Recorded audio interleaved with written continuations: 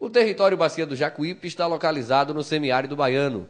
Com 14 cidades e uma população de aproximadamente 240 mil habitantes, a região tem sua identidade reforçada com o início dos festejos juninos. Nessa época do ano, as cidades realizam grandes eventos e conseguem com isso atrair cada vez mais turistas para a região. Em 2011, a TVE estará presente no São João da Bacia do Jacuípe, com reportagem das festas que acontecem durante todo esse período.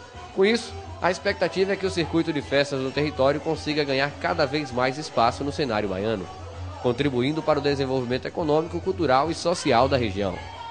O telespectador da TVE poderá acompanhar sem sair da poltrona as principais informações das festas em Nova Fátima, Serrolândia, Capela do Alto Alegre, São José do Jacuípe, Pé de Serra, Macajuba, Mairi, Ipirá, Pintadas, Gavião e Baixa Grande. O início ocorre já nesse final de semana com o Arraiá do Licuri em Serrolândia e o Arraiá de Todos Nós em Nova Fátima.